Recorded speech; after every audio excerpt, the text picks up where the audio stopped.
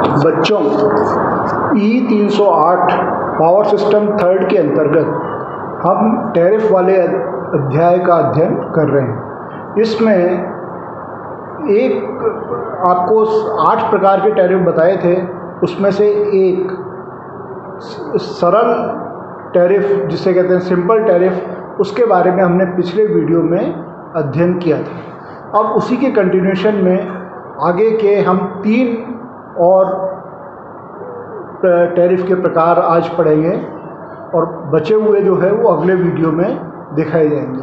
तो उसी कंटिन्यूशन में ये काम चल रहा है। आप इसको समझने का प्रयास करें। तो जो दूसरा टैरिफ है, वो होता है flat demand rate tariff. Flat demand rate tariff.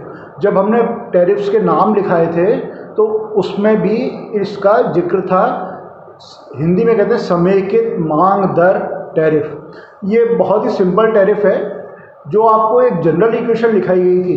A is equal to c x plus d y plus f c x plus d y plus f तो उसमें एक्स जो है मैक्सिमम डिमांड थी वाई एनर्जी कंज्यूम थी, और जो सी है, वो कॉस्ट पर किलोवाट थी।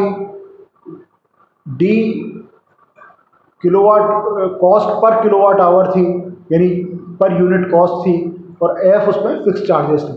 तो इसी जो जनरल फॉर्म है, उसमें से जो फ्लैट डिमांड रेट होती है, उसमें सिर्फ़ एक ही कंपोनेंट यूज़ होता है, यानी a is equal to c x तो एक्स जो है वो मैक्सिमम डिमांड है या जो डिमांड उपभोक्ता द्वारा यूज़ की गई है। और सी जो है वो है कॉस्ट ऑफ़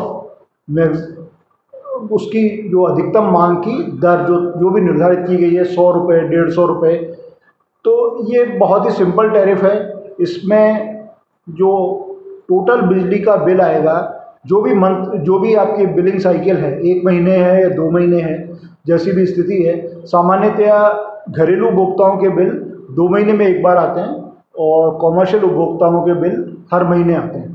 तो जो भी बिलिंग साइकिल है, उसमें टोटल बिल जो होगा, उसमें सिर्फ़ एक कंपोनेंट होगा, जो मैक्सिमम डिमांड आप यूज़ करें। इसमें एनर्जी नोट करने की ज़रूरत नहीं कर पड़ती इसमें सिर्फ़ जितना आपका लोड है, उसको उस रेट से गुणा करके हम टोटल बिलिंग अमाउंट को ज्ञात कर सकते हैं। तो सिंपल तो है, लेकिन इसमें आप देखते हैं कि जैसे जैसे आप इसमें मतलब यूज़ करते जाएँगे इसका तो टोटल बिल जो है, वो तो उसमें तो बढ़त नहीं होगी, लेकिन जैसे जैसे आप यूज़ करेंगे, वैसे वैसे इसकी पर यूनिट कॉस्ट कम होती जाएगी। यानी मान लीजिए हमने एक ही दिन इसको यूज़ किया तो भी उतने ही पैसे लग रहे हैं, और तीस दिन तक हम यूज़ करते रहे तो भी उतने ही पैसे लग रहे हैं। तो इसमें सबसे ख़राब बात यही है कि ये बिजली की बचत को प्रोत्साहित नहीं करता। ये इस बात के लिए हमें प्रेरित नहीं करता कि हम बिजली की बचत करें। सामान्यतया ये ऐसी जगह पर लगाया जाता है जैसे ट्रैफ़िक की लाइट्स लगी होती हैं हर चौराहे पे, शहरों के अंदर। तो वहाँ पे लगाए जाते हैं स्ट्रीट लाइट में लगाए जाते हैं। क्योंकि उसमें पता होता है उनको कि भाई ये बारह घंटे चलनी है, जो सिग्नल्स हैं, जो ट्रैफ़िक सिग्नल्स हैं, वो लगभग चौबीस घंटे चल रहे हैं। तो उसी हिसाब से वो रेट तय कर लेते हैं। सिर्फ़ उनको उसका लोड कैलकुलेट करना होता है, अलग से मीटरिंग करने की मीटर की रीडिंग लेने की उसका फिर बिल पे, बिल बताने की ज़रूरत नहीं पड़ती। सिर्फ़ वो लोड, पहले से नोट किया हुआ होता है, उस लोड को जो रेट है, उससे गुणा करके और जो बिल है, वो जन, उनको जनरेट हो जाता है और बिल उनको दे दिया जाता है। तो ये सिंपल ज़रूर है, लेकिन इसमें जैसा मैंने आपको बताया कि एक तो इस बात के लिए बिल्कुल भी प्रेरित नहीं करता कि आप बिजली की बचत करें, कहीं पे हम हम शुरू में तो कर सकते हैं, जैसे कोई लैंप, अगर मान लीजिए, पचास वाट बिजली कंज्यूम कर रहा है, उसकी जगह पे दस वाट बिजली कंज्यूम करने वाला लैंप लगा दें, वो शुरू में तो हो जाएगा, लेकिन बाद में वो बिजली के उपयोग के प्रति लोगों को लापरवाह ये नीति बनाती है। पहले एग्रीकल्चर सेक्टर में भी यही नीति लागू थी समरसेबल पंप्स गाँव में लगे हुए थे उसमें पर किलोवाट के हिसाब से ही बिजली के चार्ज आते थे। अलग से मीटर लगाने की ज़रूरत नहीं थी, क्योंकि गाँव में इतने मीटर रीडर भी नहीं थे जो हर जगह पे जा जा के मीटर की रीडिंग ले सकें। तो उसमें पर किलोवाट रेट फिक्स की हुई थी। जितने भी एचपी का उसने पंप लगा दिया, उस हिसाब से पर एचपी या पर किलोवाट रेट जो है पहले से तय थी, उससे गुणा करके और उसके मीटर के बिल आ जाते थे। तो ये देखा ये गया कि चाहे उसको ज़रूरत है या नहीं है उस लगातार पंप चलाता रहता था, क्योंकि उसको लगता था कि भाई बिजली के पैसे तो जितने मुझे देने थे, उतने में दे चुका। अब मैं चलाऊं या नहीं चलाऊं, पैसे तो उतने ही लगने हैं। तो आदमी जो है, उसको लगातार चलाता रहा। उससे नुकसान ये हुआ कि ज़मीन के अंदर पानी का स्तर भी बहुत तेज़ी से गिरने लगा। तो अब ये धीरे धीरे से इस पॉलिसी को ख़त्म किया जा रहा है। और इस तरह के बिल जो है जनरेशन अब धीरे धीरे मीटर रीडर भी बढ़ते जा रहे हैं। पहले हर गाँव में मीटर रीडिंग ही नहीं हो पाती थी तो तब ये व्यवस्था चलती थी। तो समेकित मांग दर है। तो इसमें क्या होता है, जितना आप यूज़ करते जाएँगे यूज़ बढ़ता जाएगा, उतना पर यूनिट रेट जो है, वो कम होती जाएगी। स्वाभाविक बात है, हम एक दिन यूज़ करेंगे तो भी उतना ही बिलाना है, और तीस दिन यूज़ करेंगे तो भी उतना ही बिलाना है। लेकिन थोड़ा सा अगर अपन इसको न्यायिक रूप से जुडिशली यूज़ करें तो ये वैसे आसान व्यवस्था है। दूसरा इसमें ये होता है कि किसानों के पंप सेट के मामले में तो फिक्स है कि भाई उसने पाँच एच की मोटर लगा रखी है या दस एच की मोटर लगा रखी है, उससे तय कर दिया।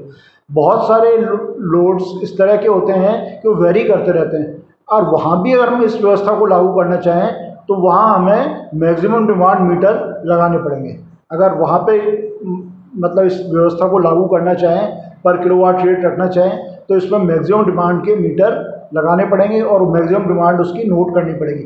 मैक्सिमम डिमांड मैंने आपको पहले ही बताया था, जो पिछले अध्याय में हमने मैक्सिमम डिमांड के बारे में पढ़ा था, ये बेसिकली जो मैक्सिमम जो बिजली किलोवाट में हमने यूज़ की मैक्सिमम पावर जो जो लोड हमने लिया और उसका पंद्रह मिनट, पंद्रह पंद्रह मिनट के साइकिल बना के रखते हैं। उन पंद्रह मिनट का जो औसत वैल्यू होती है, वो मैक्सिमम डिमांड होती है। तो ये तो हम पिछली बार पहले पढ़ चुके हैं। तो ये मैंने आपको बताया कि फ्लैट डिमांड रेट आसान है सिंपल है, लेकिन इसमें जो कमी है, वो यही है कि ये बिजली की बचत को प्रोत्साहित नहीं करती। अब नेक्स्ट जो है इसमें straight meter rate tariff straight meter rate tariff यानी सरल मीटर दर टैरिफ सरल मीटर दर टैरिफ। ज़्यादातर हम देखते हैं कि ये, जो घरेलू उपभोक्ताओं के लिए, हालाँकि हमारे राजस्थान में तो इस तरह का नहीं कर रखा लेकिन कई राज्यों में इस तरह की व्यवस्था कर रखी है। इसमें जो जो हमारी जनरल फॉर्म हमने देखी थी, उसमें एक ही कंपोनेंट इसका काम में आता है a is equal to d y यानी आप कितने यूनिट उसने कंज्यूम किए उससे जो भी रेट होती है, उसको गुणा कर दो। बस, इतना ही करना है आपको। तो जो भी रेट है, उसको आपने कितने यूनिट कंज्यूम किए, उससे गुणा करना है और आपका बिजली का बिल आ जाएगा। यानी जो भी आपकी बिलिंग साइकिल है, उतने समय का, एक महीने या दो महीने का बिजली का बिल आ जाएगा। अब इसमें दिक्कत ये आती है कि जो कम बिजली यूज़ करते हैं, उनके भी उसी दर से मीटरिंग होती है और जो ज़्यादा बिजली यूज़ करते हैं, ज़्यादा संपन्न लोग हैं, उनके भी उसी दर से बिलिंग होती है। यानी एक ही रेट में बिजली गरीब आदमी को भी मिलती है और अमीर आदमी को भी मिलती है। तो ये लोगों की पेइंग कैपेसिटी के हिसाब से फिट नहीं बैठता। कि जो गरीब आदमी से भी उसी दर से चार्ज किया जाए और उसी दर से अमीर आदमी से भी चार्ज किया जाए। बेसिकली जब हम अमीर आदमी से ज़्यादा पैसे लेते हैं तो वो कॉस्ट सब्सिडाइज हो सकता है। तो उससे जो गरीब आदमी है, उसकी रेट को और कम किया जा सकता है। इसलिए इसको स्टेगर्ड वे में मतलब मीटर बिलिंग के हिसाब से कम मतलब जो यूनिट्स कंज्यूम हो रही हैं, उस हिसाब से अगर कम यूनिट कंज्यूम कर रही हैं तो उसका बिल कम रेट से आना चाहिए। जो जो लोग ज़्यादा बिजली यूज़ कर रहे हैं, उनका रेट ज़्यादा, उनका बिल ज़्यादा रेट से आना चाहिए। लेकिन इसमें रेट फिक्स होती है। उस रेट से जितनी भी यूनिट हमने यूज़ की, उसको गुणा करके और बिल जो है जनरेट हो जाता है। दूसरी समस्या इसमें ये होती है कि जो आदमी बिजली बिल्कुल यूज़ नहीं की किसी ने तो उसका बिल तो शून्य आ जाएगा, क्योंकि उसकी यूनिट्स कुछ होंगी नहीं। तो उसका बिल जो है शून्य आ जाएगा। ये भी गलत है, क्योंकि अगर उसने शून्य बिजली भी यूज़ की तो भी बहुत सारे फिक्स चार्जेस जो ऐसे होते हैं, जो हर उपभोक्ता के लिए बिजली कंपनियों को देने पड़ते हैं। जैसे आप किसी किराए के मकान में रह रहे हैं तो किराया तो मिनिमम आप रहो या नहीं रहो, या पाँच दिन रहो या पचास दिन रहो, वो किराया तो महीने का उतना फिक्स होना चाहिए। बिजली पानी के पैसे कम ज़्यादा हो सकते हैं। तो इसी तरीके से इसमें है कि अगर आप बिल्कुल वहाँ पे नहीं रह रहे हो तो आपका शून्य बिल आए। तो इससे क्या होगा कि उन लोगों के लिए ये ज़्यादा दिक्कत हो जाएगी जो लोग पूरे समय रह रहे हैं। यानी फिक्स चार्जेस तो उसके लगने चाहिए। अब जो लोग बिल्कुल उस मकान में नहीं रह रहे हैं तो मकान में रह रहे हैं, लेकिन बिजली का यूज़ नहीं कर रहे हैं। तो उससे क्या होता है कि ये, इस चीज़ के लिए भी लोगों को प्रेरित करता है कि वो बिजली की चोरी करें। मीटर को बंद कर दें तो उनका बिल तो बहुत कम आएगा फिक्स चार्ज भी लगना नहीं। तो वो जो चीज़ है, ये बिजली की चोरी को भी प्रोत्साहित करती है। तो ये मैंने आपको बताया, ये अपने यहाँ पर नहीं, अभी लागू है, लेकिन कई राज्यों में इस तरह की व्यवस्था है कि एक ही रेट से, जो बिजली के बिल जनरेट होते हैं। गरीब आदमी हो, अमीर आदमी हो, ज़्यादा बिजली यूज़ करे, कम यूज़ करे, उसके रेट एक ही होते हैं। अब नेक्स्ट जो है, वो है ब्लॉक मीटर रेट टैरिफ ये व्यवस्था हमारे यहाँ पर लागू है। इसमें क्या होता है ब्लॉक्स बने हुए होते हैं। यानी ज़ीरो से पचास यूनिट तक की एक रेट पचास से दो सौ तक की दूसरी रेट और दो सौ से अधिक यूनिट है। तो ये मैं उदाहरण के लिए बता रहा हूँ। ऐसा कोई ज़रूरी नहीं है, हर जगह पचास, दो सौ या इस तरह से हो। अलग अलग राज्यों में अलग अलग व्यवस्था हो सकती है। और अलग अलग बिजली कंपनियाँ अलग अलग समय को देखते हुए अलग अलग व्यवस्था कर सकती हैं। अगर दो महीने का बिल है तो उसके लिए अलग व्यवस्था हो सकती है। तो इस तरीके से ब्लॉक्स बने हुए होते हैं। तो एक पर्टिकुलर ब्लॉक के लिए एक रेट होती है, दूसरे ब्लॉक के लिए दूसरी रेट होती है, तीसरे ब्लॉक के लिए तीसरी रेट ये बेसिकली जो हम, जो हमने इससे पहले जो पढ़ा, यानी स्टेट मीटर रेट टैरिफ उसका एक सुधरा हुआ रूप है। तो इसमें हमने स्टेगर्ड कर दिया। अब इसमें दो तरह की व्यवस्था होती है। पहले तो क्या होता था कि जो बिजली कंपनियाँ हैं, वो लोगों को प्रेरित करती थी कि वो ज़्यादा से ज़्यादा बिजली को यूज़ करें। तो उल्टा होता था कि जो आदमी कम बिजली यूज़ करते थे, उनके रेट जो है ज़्यादा होती थी। यानी बिजली कम यूज़ कर रहे हैं तो पर यूनिट रेट जो है उनके ज़्यादा लगेगी।